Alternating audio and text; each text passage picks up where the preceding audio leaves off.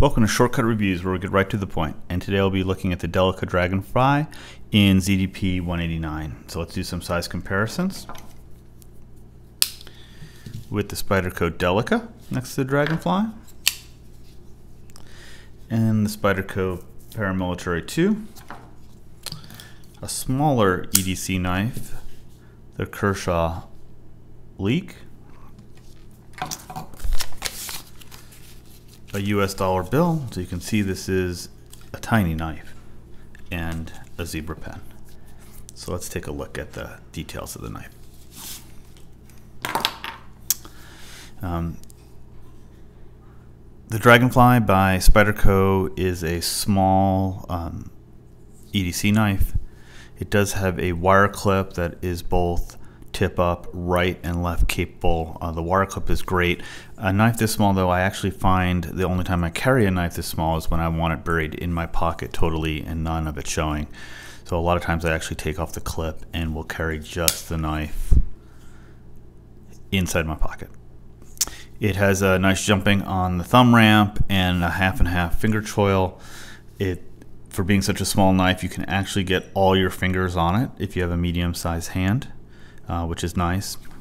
It has a very small blade with a nice wedge on it, classic Spyderco shape. FRN handle with a back lock, so there won't be much Spydie flicking open this knife, but uh, it's not really that kind of knife anyway. Again, really the major attribute to this knife is just that it's small. Um, it's well done. There are no washers at all in this knife. Um, it's uh, just molded into the FRN handle. Uh, the FRN handle is super strong. Uh, Spyderco's wire clip is probably the better clips. This is actually a knife that a lanyard hold tends to make a lot of sense because you may have a short lanyard on it if you're not going to if you're going to carry it straight in your pocket. Anyway, it's smooth. Uh, the ZDP steel is um, uh, a super steel, and it's a great super steel. There is also uh, a cheaper option, VG10, which is uh, just a fine, adequate steel. Um, the knife itself, though, is pretty expensive for what you get. You can certainly get more blade and more capability for the same price. The Spyderco Dragonfly is just really a specialty knife. Um, when you need something ultra small, still relatively capable for its size, but it's expensive and it has just limited application.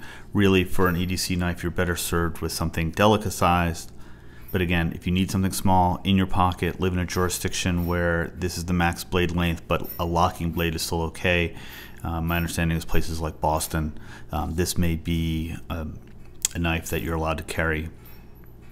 It's well done, it's well executed, but generally I want a little more knife on me. So the conclusion is, if it fits a niche that you have, um, it's a great little knife. If you can carry something a little bit more a little bit more capable, then that would be my suggestion. So thanks for joining us for Shortcut Reviews, and remember to stay sharp.